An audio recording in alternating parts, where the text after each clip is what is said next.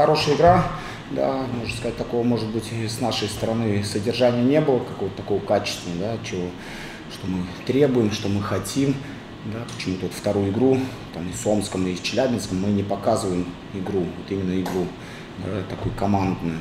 Не знаю, с чем связано, скорее всего, то, что, наверное, соперник посильнее, да, соперник ставит и задачу да, выхода и Челябинск, и Омск, да, уровень футболистов здесь э, разный, да, но, повторюсь, э, что и с такими командами мы играли, как бы у нас и был рисунок, не знаю, с чем связано, скорее всего, наверное, психология.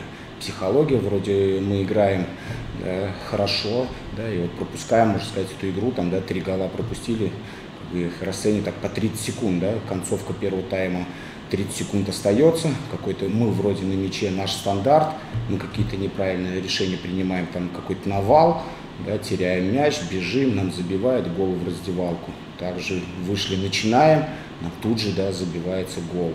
И третий, да, вот концовку, да, тоже в конце уже да, забивается гол. Наверное, потеря, может, концентрации, да, будем разбираться, смотреть, почему у нас так э, часто это стало ну, происходить. Да. И вот Тыш также забил да, там, на 40-й минуте.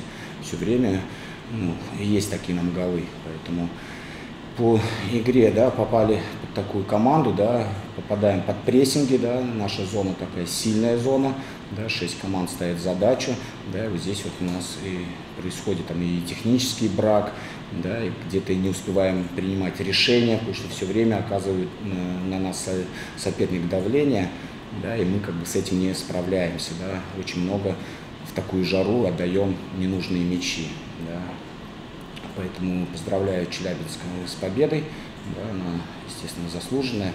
Поэтому мы будем разбираться и двигаться дальше. У нас уже есть опыт, да, есть опыт, то, что и ребятам я сказал, всегда говорю с такими лидерами, да, что, естественно, у них стоит задача, да, естественно, забить быстрый гол, да, это для под командой молодые всегда так тренер ставит такие задачи, потому что мы психологически еще так, неустойчивые, да, и бывает ломаются команды, да, здесь задачу забить, это было видно, да, ну, мы как бы сдержались, мы сдержались и с Омском, мы и с Челябинском, да, и вот такие моменты мини, да, вот, приводят там э, не к нашему результату.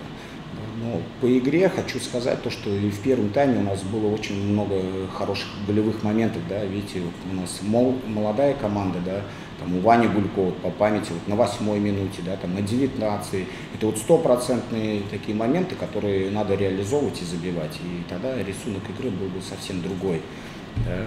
Поэтому здесь я помечу, что мы как бы не отсиживались и тоже создавали какие-то моменты, да, и они были хорошие моменты. Их только надо забить и реализовать.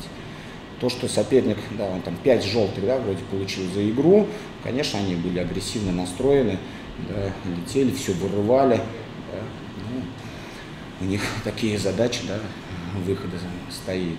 Здесь единственное для обучения молодых футболистов, да, вот пометил у них у Челябинска третий номер, не помню как фамилия там, Кушев, да, парень 33 года, да, посмотрите, 90 минут он и в подкатах, и вырывая, и гол забил, да, вот это пример нашим молодым футболистам, как вы должны действовать на футбольном поле, да, имея возраст гораздо моложе, да, как вы должны двигаться, вырывать, бороться, быть в игре, да, это как бы такой показатель, на котором мы тоже будем ставить примеры, и, естественно, на теории покажу я эти все моменты, как 33-летний играет в подкатах, даже проигрывая позицию, догоняет, вырывает, борется. Да? Ну, только так будет результат.